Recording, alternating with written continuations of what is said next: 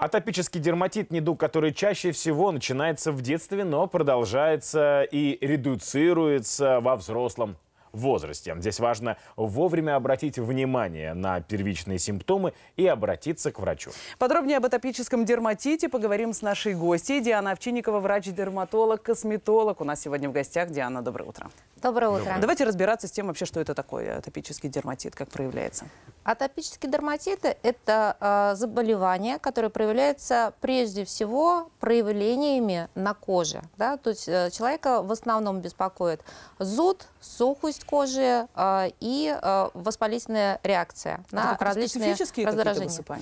А, в разном возрасте проявляется по-разному. То есть, как правило, это покраснение кожи и э, зуд, сухость, который возникает в разных местах. Вот, например, у маленьких детей грудных это в основном лоб и щечки. Потом э, вот это состояние длится до 6 месяцев. С 6 месяцев до 2 лет это в основном разгибательные поверхности э, суставов, э, коленных, локтевых суставов, примеру. Да? И уже во взрослом состоянии может проявляться в других областях а, тела. У подростков, вот, например, очень часто это на сгибательных поверхностях а, локти, опять же, а, колен, а, колени там, и так далее. Вот. Но а, можно сказать, что а, позитивным является то, что с возрастом проявления дерматита атопического, они а, идут на убыль. Но а, хочется сказать, что полностью его излечить невозможно, но а, к этому а, заболеванию нужно относиться философски. Как говорят дерматологи, что есть э, это образ жизни. Да? То есть э, вот есть, например, сахарный диабет, от которого излечиться невозможно, да? но мы все с ними живем, потому что есть очень хорошие компенсирующие средства. То же самое и с атопическим дерматитом. Вот. То есть нужно э, знать, э, что провоцирует вот это состояние. К примеру, э, может провоцировать э, шерсть животных да? или просто шерсть. Вот когда, Именно прикосновение. Да, прикосновение, да. Вот, например, шерстяные шапки. Вот э, мама одевает детишкам шерстяные шапки, да, и у них начинается, а, опять же, покраснение, начинает чесаться лобик, да, возникает а, а, зудящие такие элементы, значит, вот шерсть одевать не нужно. Если есть шерсть животных, нужно очень аккуратно смотреть одежду, чтобы шерсть не попадала на внутреннюю поверхность одежды и очень хорошо очищать все от этих, ну, так скажем, ворсинок, да, вот, чтобы а, и взрослый человек, и ребенок не ощущал а, дискомфорта. Вот. Но э, часто связывают с различными пищевыми, э, так скажем, э, аллергенами, э, которые э, человек э, может съесть, но здесь нужно четко знать э, связь. Вот как у меня, э, например, тоже иногда приходят пациенты вот, э, ко мне на косметологии говорят, что вы знаете, вот у меня аллергия на то-то, то-то, то-то. Была, была всего лишь э, раз в жизни, там, предположим, э, в 5 лет, когда мне было. Я говорю, ну вы знаете, у вас э, как таковой вот реакции на этот продукт нет, потому что если есть реакция на продукт, когда когда бы вы его не съели, у вас всегда э, будет определенная реакция, да, то есть э, провоцирующий фактор. Вот. Но и провокаций очень много. Ну, вот, например, мы э, живем в Питере, здесь климат наиболее неблагоприятный для атопиков.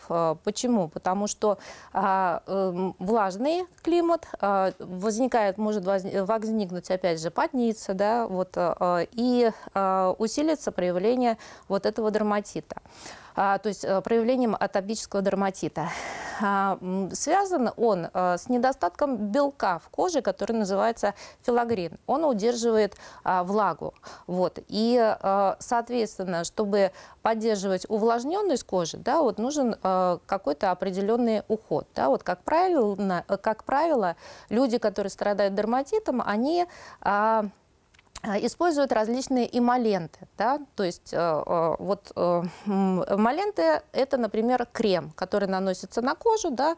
Он смягчает кожу, он лечит микротрещинки и, соответственно, он препятствует тому, чтобы влага, она убегала из кожи, уходила из кожи, да, то есть вот таким образом. Если у человека угу. в детстве не проявился дерматит, он во взрослом возрасте может проявиться? Или если в детстве не было, то, в принципе, можно выдыхать угу. спокойно?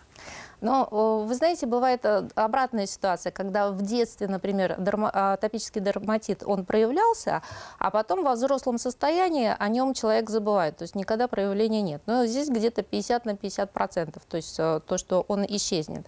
Но, э, как правило, если э, у чело- человек говорит, что, ну, вы знаете, практически эпизодов не было или не было, да, то просто не обращали, может быть, внимания на такие мом- моменты. Может быть, там легкие проявления были.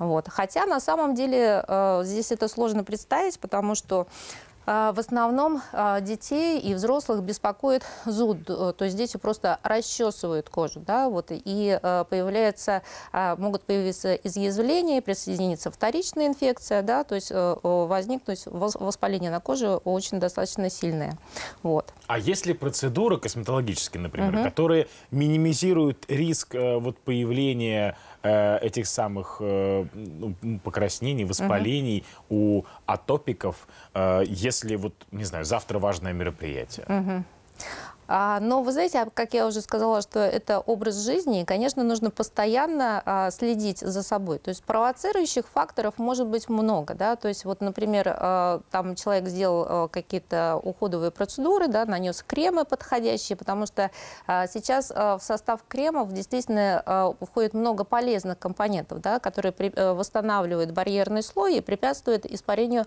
влаги из кожи. Вот это, например, мембранные липиды. Я знаю, более того, вот производство э, в Санкт-Петербурге, которое э, производит замечательные э, кремы, вот, э, которые подходят э, для атопиков. Вот, и, соответственно, они э, с- э, уменьшают вот, проявление вот этого атопического дерматита. Но э, так, чтобы подготовиться, ты сегодня, вот у тебя есть проявление, а завтра ты э, вот э, выходишь, у, у тебя все замечательно вследствие процедуры, конечно, нет. Вот. Это, э, что касается косметологии, может быть, в основном это все-таки подбор правильных э, домашних средств уходов, крема. И кремов. регулярный уход. Регулярный, да. Э, К чему может привести такое халатное отношение к дерматиту, да, если человек такой, ой, да ладно, пятна пройдет, ничего страшного.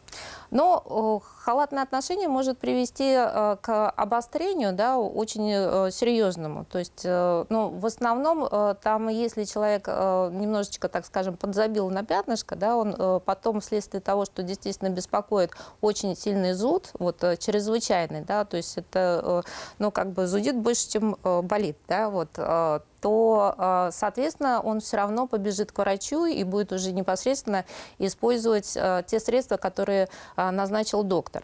Вот, к примеру, там уже будут различные, ну, так скажем, стероидные препараты, которые будут наноситься на кожу, гормональные, для того, чтобы зуд вот этот убрать. То есть там Потому уже прям что- лечение. Конечно, лечение, да, потому что даже если человек может себя контролировать в течение дня, он не сможет контролировать себя ночью, он будет себя все равно расчесывать. Да, да, такие Да. мы люди, которые любят себя расчесывать в ночное время, поверьте мне. Большое спасибо, Диана Овчинникова, врач-дерматолог, косметолог, сегодня помогал нам разобраться с тем, что такое атопический дерматит.